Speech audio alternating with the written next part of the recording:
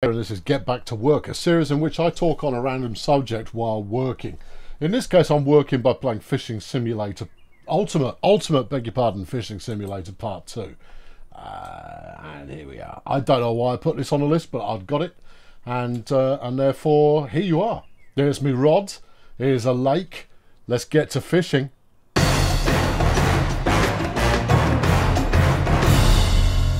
Occurred to me there for a moment that I, have played this once. I played for like an hour or so, uh, and uh, I found it. I found it quite relaxing, uh, and uh, and I went, this doesn't feel familiar at all.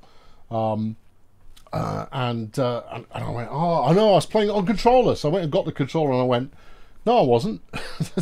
there you go. No funny story. Anyway, today's topic of conversation comes to you courtesy of Four Leaf, who who, who has asked the following. Uh, I want uh, you to talk about the underground waste. Uh, waste. I'll start again. I want you to talk about the human waste ground that is Matthew McConaughey. I mean, he plays the same part constantly. His best films are the ones where he's only in them ever so slightly. He's only in them very little, uh, but he keeps getting work. While people like Nick Cage faded off and now take anything they can get. Uh, why did it happen? Who's responsible for this? And why did we stand idly by and let it happen? Well, there's a, there's a lot to unpick in there, and uh, I mean fishing's not going great. Hang on, let's uh, let's wind in. That's it, and then you do that to switch. That's what we want, right? Okay, so switch that.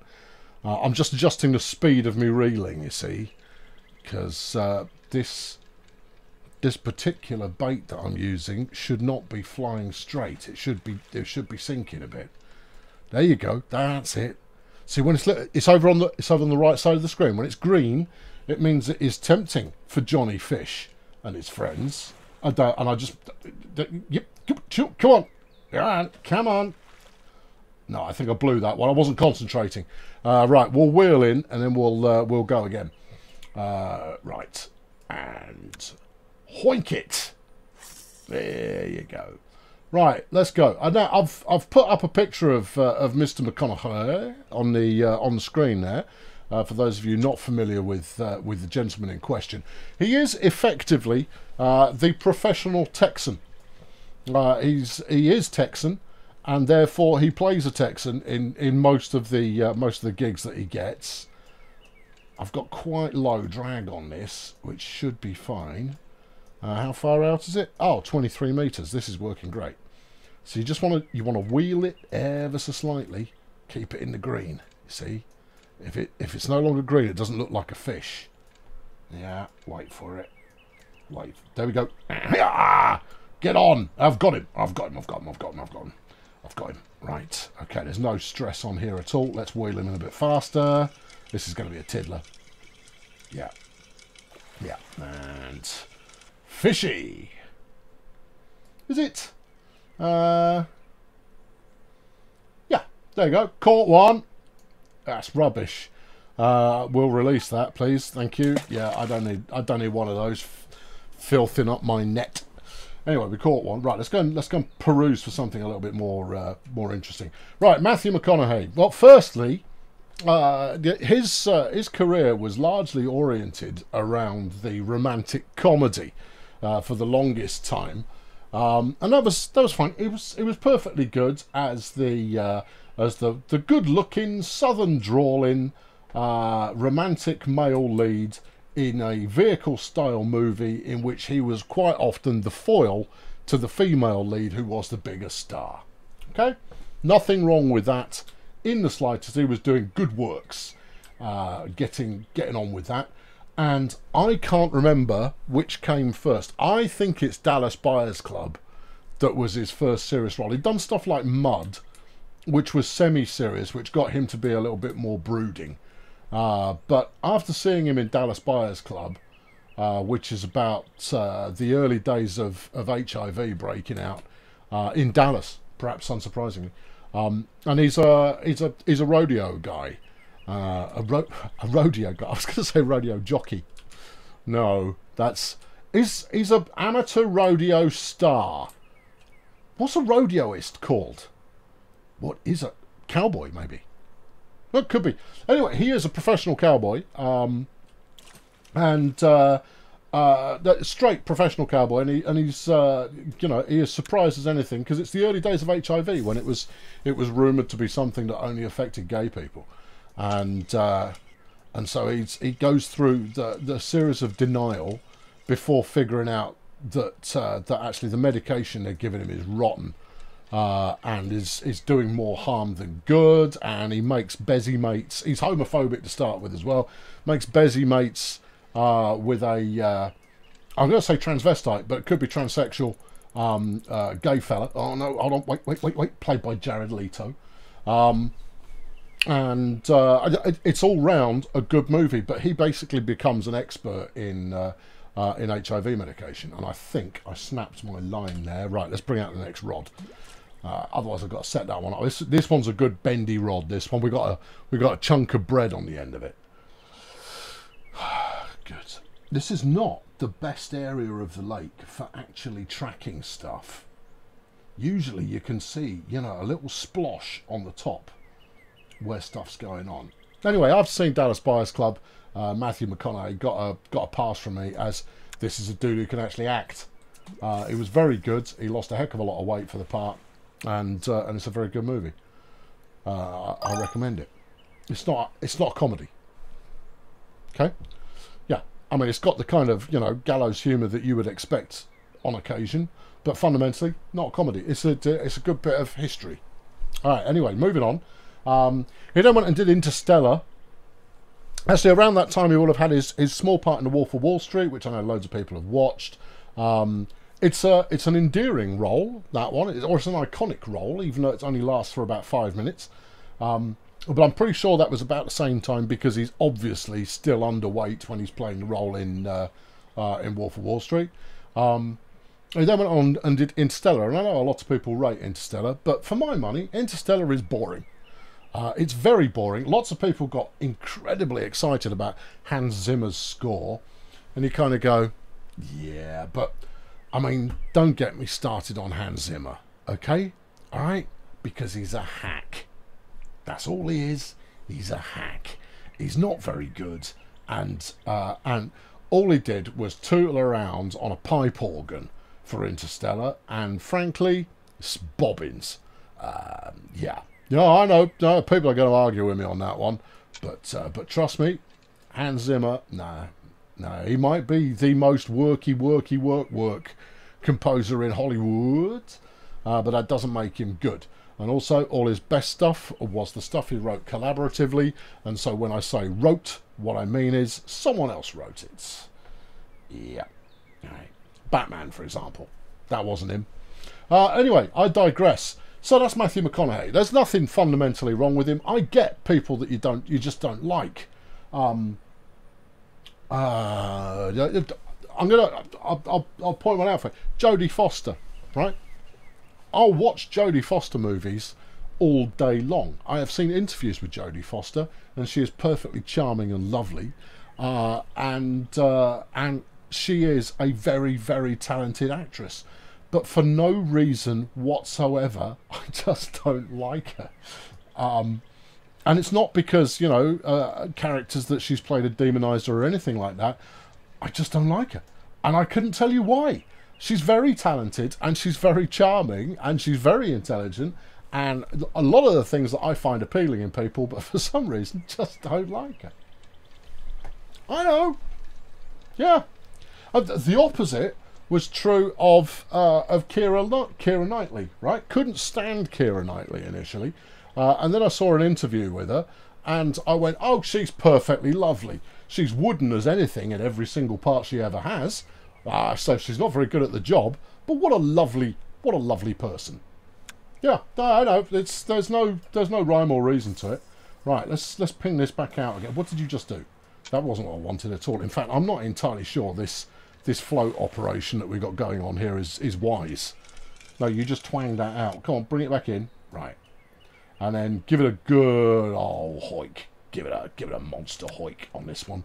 I tell you, when you're casting in this, I'm not catching very much because my, my primary rod, I, I, broke the line on it. Um, it goes a lot further than you think it will.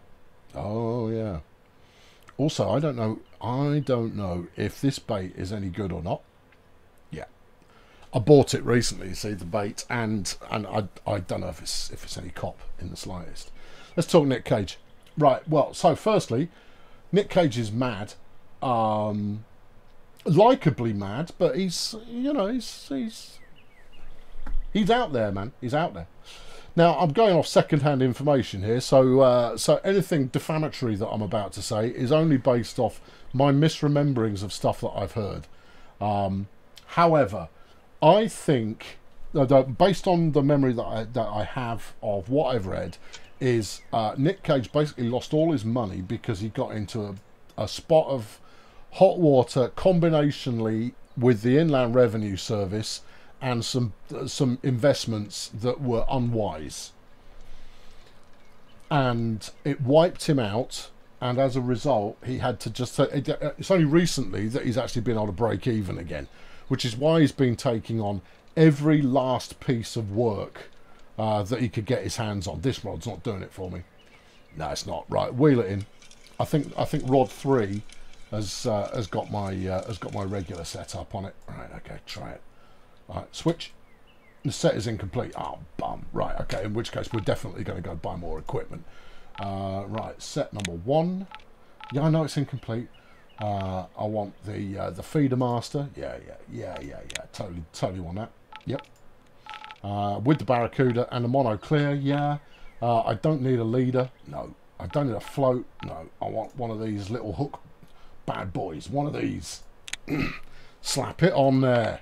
That's the tickets. Right, we'll, we'll set up number three while we're at it. Rods. Give me... Unavailable. I, I haven't got any more rods left. I've only got two sets. Oh, okay. Fair play. All right. Well, you know what? We'll set up rod number two the same. We'll keep the uh, the Barracuda 2001 GN. It's it's a banger after all.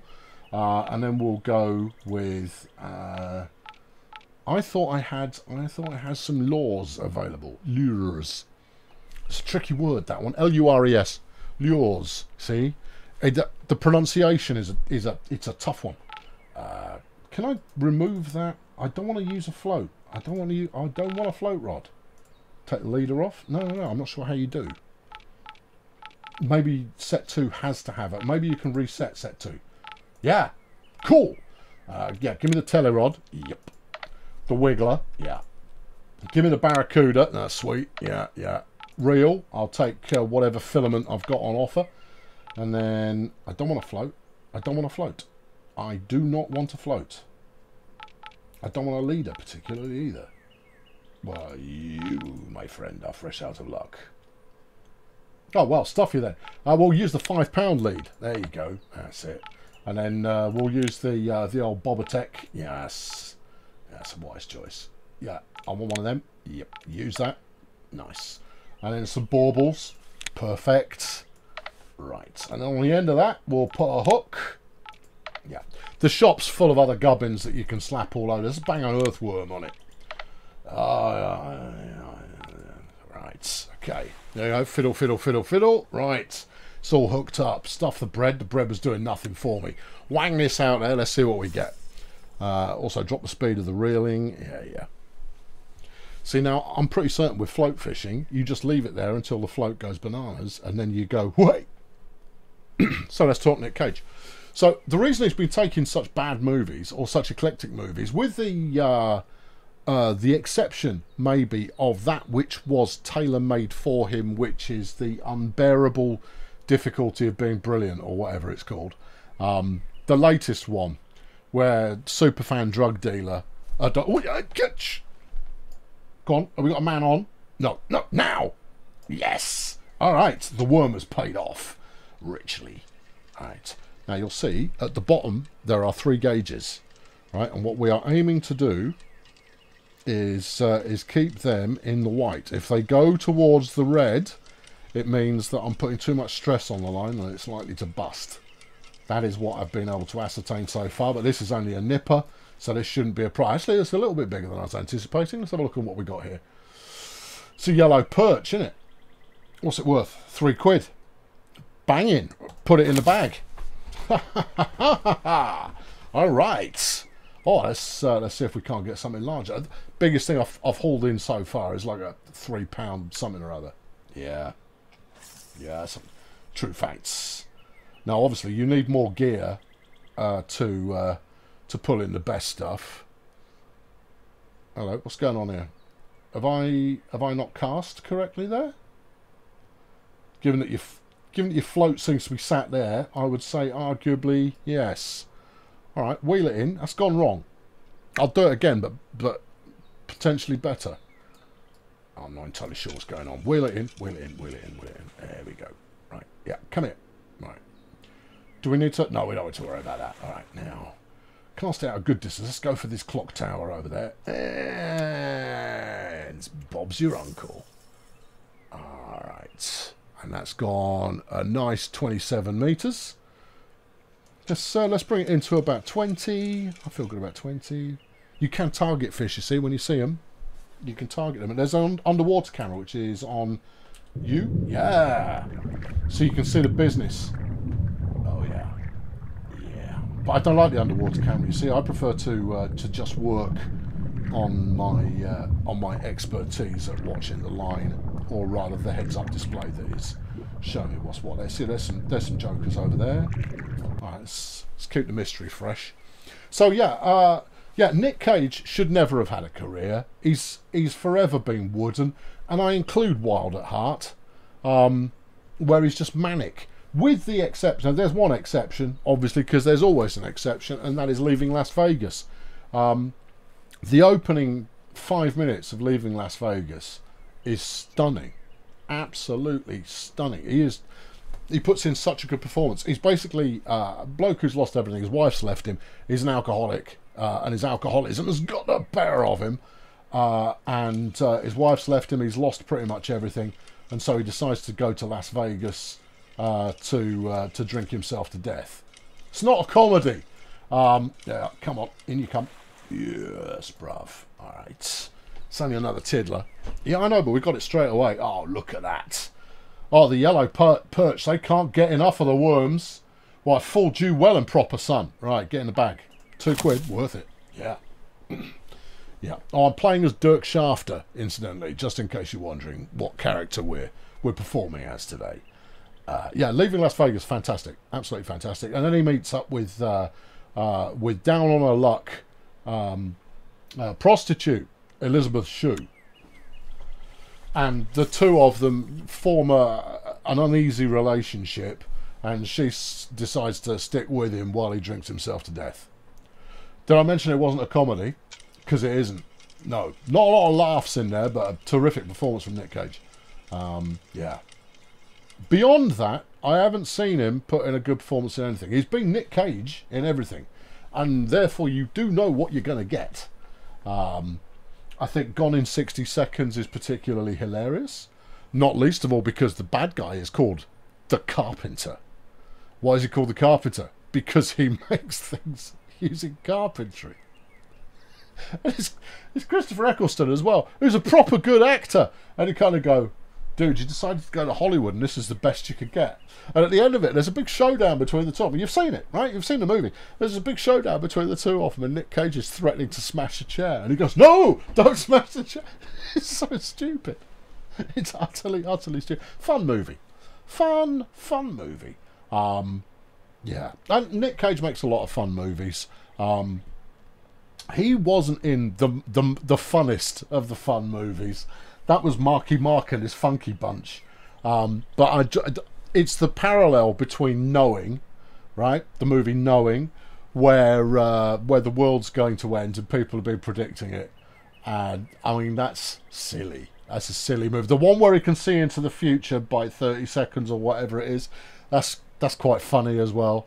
Um, uh, what's that? But no, the one I was describing, The Happening, where where the planets decide to kill everybody. That's hilariously bad. That's uh, M Night Shyamalan after he's gone well off the reservation. Uh, he rather believed his own hype a little bit too much there. Um, yeah, that's that's a bad film. Bad film. Um, yes, really, it's a truly awful film. Knowing is a pretty bad film as well. Uh, think of other Nick Cage movies. Oh, what's the one where he's an Apache pilot? That's awful. Um, that was quite early on as well. That was that was just after Wild at Heart. Uh, Wild at Heart, he, it's, I mean, it's a David Lynch movie, right? So the, the thing with David Lynch is everything he does, he plays to exaggerations. He exaggerates the characters to uh, an incredibly high degree. The yellow perch, man.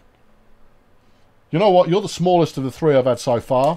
Go back to the wild. I care not for you, perch, yellow or otherwise. Uh, let's switch out the rod.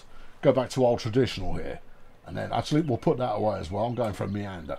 Uh, let's go see if we can find somewhere a little bit more lively, a little bit more up there. Uh, fed up a perch, stuffed perch. No, I'm all done. I'm done with perch. Uh, but Nick Cage got his got his uh, got his start there because he's uh, he's Francis Ford Coppola's nephew, and and therefore he got the gig out of a good healthy dose of nepotism. Now, I'm fine with that. Good, healthy doses of nepotism are, after all, what gifted the world Drew Barrymore. Um, but at the same time, and uh, the Fondas, let's not forget the Fondas, uh, but uh, no, I mean, uh, you know, and, and Liza Minnelli. And you can argue that all of them, they're talented in their own right, uh, but Nick Cage is, is a caricature, he's, a, he's an exaggeration, he's... Um, uh, he's a puppet show, and uh, and the fact is that he's a, he's quite a watchable puppet show. Um, uh, the Face Off, incidentally, is rubbish. All right, it's complete rubbish because on the one hand, you've got charisma vacuum John Travolta, whose career was reignited by Quentin Tarantino, was quite rightly dead. Um, he's no Patrick flipping Swayze, I'll give you that for nothing. Now, Patrick Swayze, not a great actor, but such charisma. Holy mackerel. Oh my goodness me. Patrick Swizzle was, uh, sorry, that's what herself calls him. Um, uh, what, a, what a charismatic man. Uh, and uh, yeah, just, no, no, no, no. I've got all the time in the world for Patrick Swizzle, sadly no longer with us. Um, but, uh, but such is the case of, of people who should still be with us is sometimes they're not. Yeah, Mr. Swizzle, one of them. I, uh, he, he, sits there with Christopher Reeve, right? Now, Christopher Reeve actually can act. He's I've seen him in enough uh, enough things to. Uh, he, I mean, he's dead now as well. Um, but uh, but Christopher Reeve could act when he was alive. Uh, but he is Superman, and always will be. Yeah, no one did Superman better than Christopher Reeve, and I like whoever the latest one is. Brandon Routh. No, that was the previous one. Who's the latest one? Oh, uh, Hen Henry Cavill. Yeah, yeah, yeah, yeah. Yeah, no, you got you got to decrease your drag. Decrease your drag. Get the drag down. It's a big one. Uh, there we go. There we go. Right. Hoik, hoik, hoik. He's coming straight for us. If we're lucky, we won't have to fight. No, we're going to be fighting him. Okay. All right. All right. Wait for him. Wait for him to ease off a bit. Wait for him to ease off a bit. Maybe drop the drag a little bit. Uh, drop the drag a little bit. There we go. Yeah, this is going to be a this is going to be a good. Just give it up. Let's see if that. Uh, yeah, it's okay. It's okay. We're going to be here for a minute, unless I snap the line, which I don't want to do. See, unless you put more drag on the line, you can't actually bring him in, and he's just going to get away from you. You have to wait for, for for the mood to take him. Come on, come in here. Come on. Get, get, get. Come on. Wow, I'm going to put you in my fish tank. That's, that's part of the game. Is you can take the fish that you've caught, stick them in your fish tank, and they'll breed and uh, and grow and, and, what have you. And then you go, ah, ha, ha, ha, ha. Yeah, you'll see it's getting further away because I haven't got enough drag on the line. And the trick is, you drop the drag down when he's pulling, and then increase the drag to hoik him in. In fact, I might up my speed a smidge, just give it about 60%, and then switch over the drag and then up that to there you go there you go. Now pull pull pull pull pull. Stop pulling. And drag off. Right. Okay. Yeah. Hey come on son yeah that's it. Yeah, yeah yeah. I've got quite a lot of the fight out of him. Come on. Come on. Come on. Uh, wait for it. Wait for it. This is the fun bit incidentally. Actually there's quite a lot of fun bits about this. I mean uh, I, I work partially on a fishing game, and uh, and that's quite good fun from time to time. But but what I what I've been looking for is one that, that you know really uh, really gets the sense of what have I got? Where where is it? Where's it gone? Where, where's my fish? It's a salmon. It's uh, it's five and a half quid's worth. Where's, where, I want to see it. Oh, you have. You, it's only early access, so the fish is missing. I am left disappointed by not being able to see me salmon. Oh dear. There we go. Right, we've been round the houses, but I think, Four Leaf, I've answered your question. And that is McConaughey's fine. He fulfills a role. It doesn't matter that he's the same in everything. The same can be said of your hero, Mr. Nicolas Cage. Um, uh, except he's not a, he's not a caricature. But what he has shown, and uh, and Nick Cage is true of this as well, is he has shown the capability to provide a, de- a deep and nuanced performance. I know words, uh, and uh, and therefore, um, he needs to do it again. I know I haven't seen the new movie, which is where he's doing a send up of himself. But every movie he ever does is a send up of himself, and therein lies the problem. It's uh, you can't you can't be uh, self-deprecating if that's all you ever do. Yeah. What? Ah, there we go. We got another one on, and think this one might be a little bit more feeble.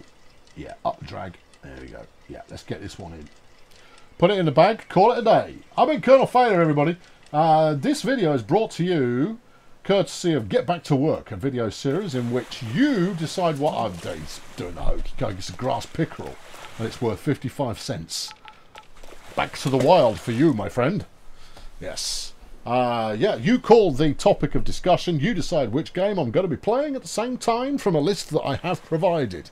You can find that list and get your own request in by heading to wisio.com slash Colonel underscore failure. I look forward to seeing your request. I've got quite a few requests in the bag at the moment, and I'm, and I'm working my way through them in the way that I am doing at the moment. Thanks very much for watching. I'll catch up with you very soon.